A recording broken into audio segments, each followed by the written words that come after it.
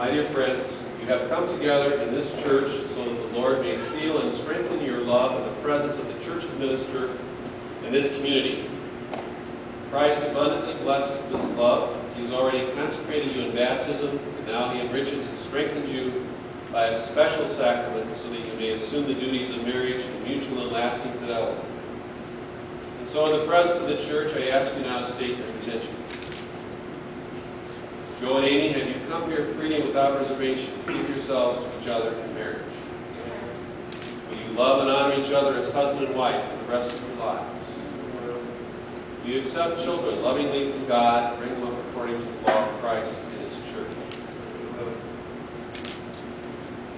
Since it is your intention to enter into marriage, you have joined your right hands. We ask you to declare your consent before God and the church.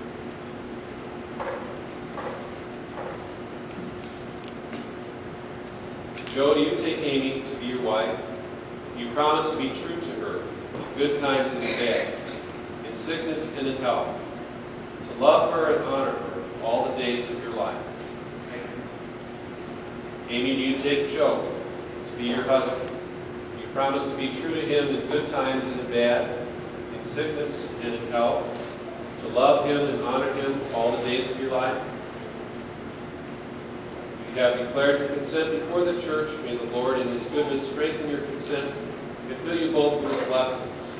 What God has joined, men must not divide.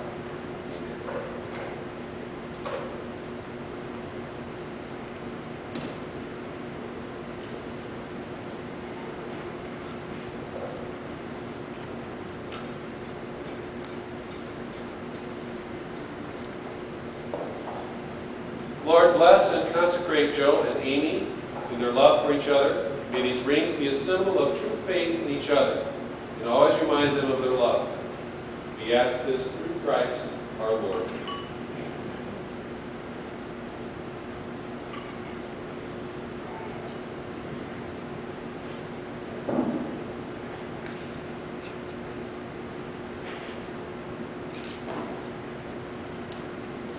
Amy, take this ring as a sign of my love and fidelity. In the name of the Father, and of the Son, and of the Holy Spirit. Amen.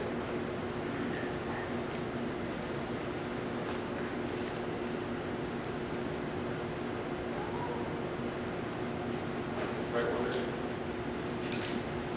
Joe, take this ring Joan, take this ring as a sign of my love and fidelity. as a sign of my love and fidelity. In the name of the Father, the Son, the Holy Spirit. We'll ask the wedding party to be seated as bride and wife.